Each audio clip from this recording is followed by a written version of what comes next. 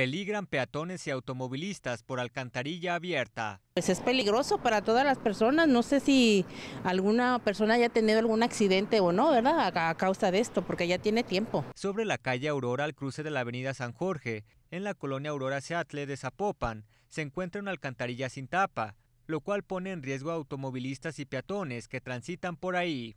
El riesgo es que esta alcantarilla se encuentra en la esquina, por lo que los automovilistas al dar vuelta podrían no verla y caer justamente en el orificio. Hemos puesto este, como una canasta con un palo para que los, los vehículos se den cuenta. Pero bueno, no los vehículos, las personas, pero sí he visto que se caigan varios o sea, sí pegan ahí. A tan solo metro y medio se encuentra un socavón que se formó desde hace dos meses. Vecinos piden al CIAPA y al Ayuntamiento de Zapopan acudir a reparar el problema. Pues uno paga sus impuestos de predial y todo, pero pues ¿dónde están lo que está trabajando para uno, verdad? En otros lugares ya se han presentado casos de personas que caen en alcantarillas por ir distraídos en el celular. Con imágenes de Fernando del Toro, Alexis Espinosa, Quiero TV.